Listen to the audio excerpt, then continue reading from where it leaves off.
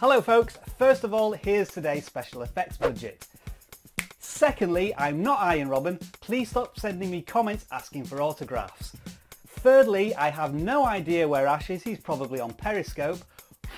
Fourthly, I'm Rob Wilson, you're watching C4E Tech. And fifthly, this is five awesome apps for you, an awesome audience. Man, that was really quite cheesy.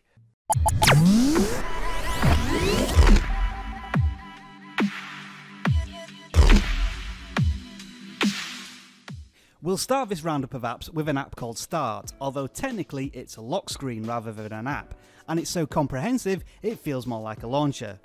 Eh? Alright, let me try and explain all that. First of all, you have the central unlock slider that does more than just unlock your device. It's a navigation hub for contacts, messaging services, launching your camera, accessing your favourite apps, which you can customise, and finally, actually unlocking your phone. I could watch those fluid animations all day, but if the lock screen were to end there, it would be smart and functional, but nothing new. Where Start separates itself from the rest of the crowd is this second set of widget categories that hug the left side of the screen. Each one slides out to display information such as notifications, settings, sport news, trending news, the weather, a music player, and plenty more besides. So when I say that Start is almost a launcher in itself, what I mean is that you could pretty much manage your entire device without ever having to actually unlock your device in the traditional sense of the term. It's highly customizable as you might expect, although it's not exactly material design. In terms of lock screens though, if you want everything all in one place, start here. Get it? Start here. As we all go more digital, one problem we all encounter is a build-up of email addresses. Of course there are individual apps for all these email accounts, but what about one app that could consolidate all your email accounts into one? That's where MyMail comes in, but before I show you how easy multiple accounts are to set up, let me alleviate any fears about the app itself. It has what you might call a modified material design skin, so that everything looks neat and tidy with all the buttons and design language you would expect, but with different graphics and occasional button pop-ups that are a little more bespoke to the app itself.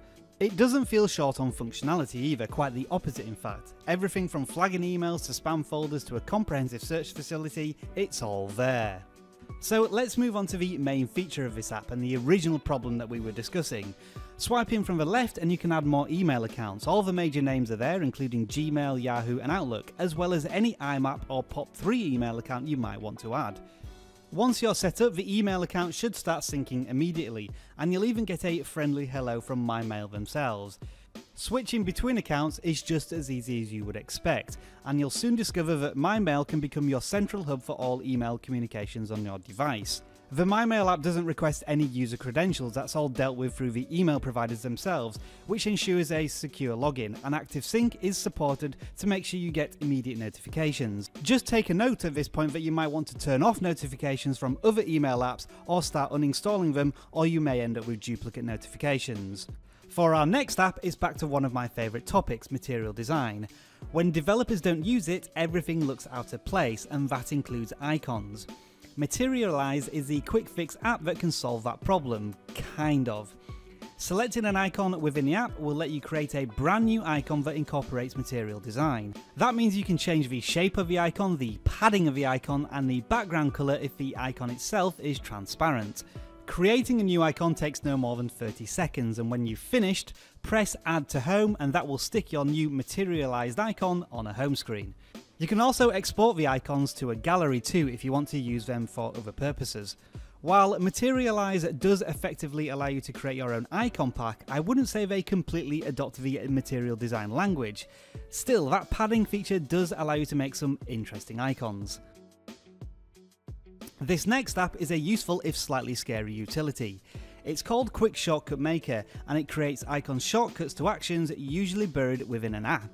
Here's a very basic demonstration. The Android settings has loads of different options, hundreds in fact, and Quick Shortcut Maker will list everything it can find to do with settings.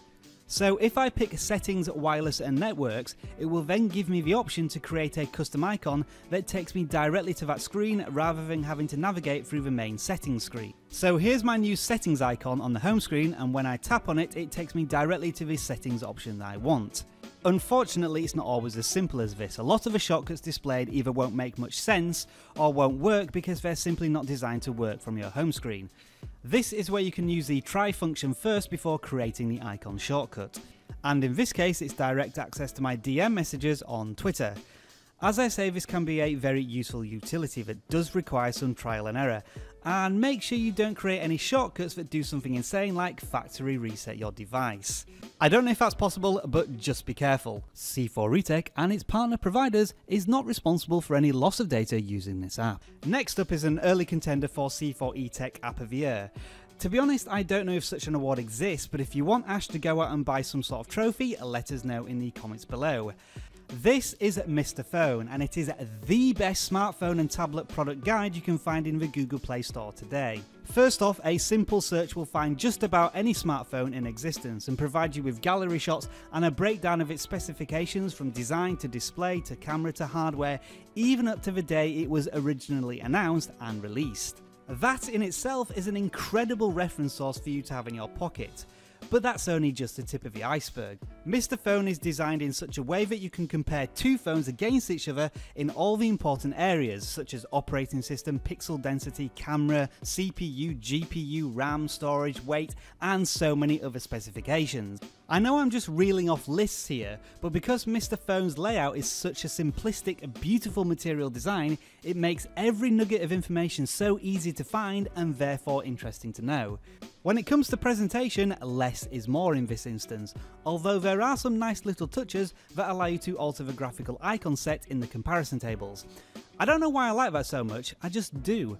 And would you believe it, the features just keep on coming. Swiping from the left side of the screen and you can search for devices by brand. So if you want to go through BlackBerry's entire back catalogue of phones, you can do. I'm not sure why you'd want to, I'm not sure why I did, but I just love this app so much I'll do anything to keep using it. To cap off Mr. Phone's impressive array of features, we have 5 options at the top of the main screen. The search we've already seen, but there's also a section for new releases and trending devices, which is an important filter in such a vast encyclopedia of an application. The news section comes next, and I was a little disappointed by this area because I couldn't find any C4eTech videos. But the app is back on form with the last section, which is a calendar of events for upcoming devices. Looky there, the HTC M10 is on the horizon. That there, folks, is Mr. Phone, a near perfect Android application. So there you have it folks, five awesome apps that I hope you enjoy and download. Let us know your experiences in the comments below and if you enjoyed this video don't forget to give it a thumbs up and subscribe to the channel for more C4E Tech content. But you know what, we have just time for one last Easter egg. Mmm, oh it's peanut. Oh. Since you all enjoyed Z-Type so much from my last video, here's another beat that score type of game, which, oddly enough, comes courtesy of the Facebook Messenger app. All you need to do is send a basketball emoji to a friend and you can find that in the bell section of the emoji keyboard. Once you send that emoji to a friend, you can then tap on the icon to launch a free throw basketball game. The concept is very simple, swipe your finger through the ball towards a hoop to take a shot. Once you get one in, you can start to build up a consecutive high score, and when you finish that score, it will be posted to your Facebook friend. As you score more hoops, the ball at the bottom will move around to change your angle of approach, and eventually the whole hoop starts to move to make it even more difficult. So that's how to unlock and play the game, but this is how to cheat at it. Line up a straight piece of card or a ruler with the ball and the hoop and you can pretty much guarantee a perfect shot every time. That's it for this episode, don't forget to post your top scores in the comments below and enjoy the rest of your tech day.